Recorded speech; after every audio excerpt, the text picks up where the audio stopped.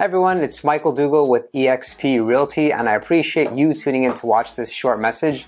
Uh, during this video, I'm going to answer the question of who is buying and who is selling despite what's happening with the coronavirus. Um, I'm shooting this video April 25th, 2020, which means we're somewhere about uh, seven to eight weeks into when the lockdown took place or some sort of lockdown. Just in essence, less people buying, less people selling, less people leaving their house, and understandably so. It's really quite interesting that almost every single day people are asking me, are people still buying? Are people still selling? Hasn't the market frozen? And the answer is absolutely not. There are still sales, somewhere about 40 to 50% as many sales as prior. And in most areas, the values have not dropped too significantly with the exception of some areas in some particular style of homes. So let let this video be our guide. We're going to go over some advantages for a buyer and some advantages for a seller. First, to answer the question of who is buying in this market, point number one would be people who have already sold their home. As we look at January and February,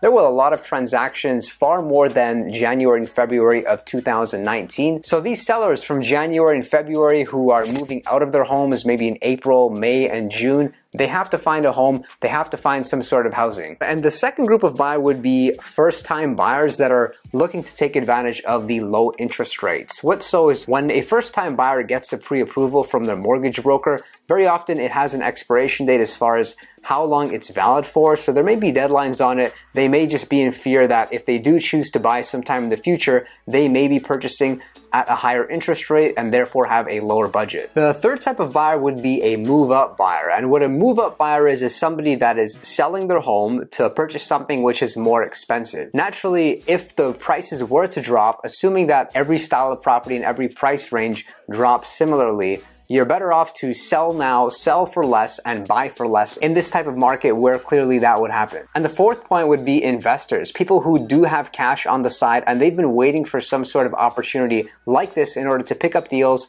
locate them, and get into the market. I'm finding that myself and other productive agents whom I know are being contacted by investors every single day I'm looking at my phone all the time and seeing text messages or emails or calls saying, Mike, if you come across a deal, let me know about it. So now that we've covered who's buying in this market, let's talk about who would be selling in this market. And point number one would be people who have already bought, just like people who've already sold. If a buyer has already bought a property, they are required to go through with their commitment provided that the deal has been finalized. So what this means is unfortunately, they are the people that have to sell in this market and likely are not going to get the price that they would have gotten between January in February. Point number two, and second group of people that are likely to sell their home are landlords that have problem tenants. And this is especially common given today's pandemic. What's happened is a lot of tenants and a lot of people in general are just unemployed, they're not making money, they have no income, and therefore making rent is much more challenging. A lot of tenants just are not paying rent. And due to this, Landlords don't want to deal with the headache, especially if they have a considerable amount of equity in the property and they don't want the headaches. They are just choosing to sell their homes. And this does bring up some opportunity in that rents, who knows, maybe they could stabilize, maybe come down a little bit because landlords are wanting really high quality tenants. And as well, there could be a lot of properties which come on the market being sold by investors at very good prices. And point number three, the group of people that are more likely to sell their home are investors or sellers that perceive the market will drop. If we look at prior recessions, then we know that values continuously drop month by month by month.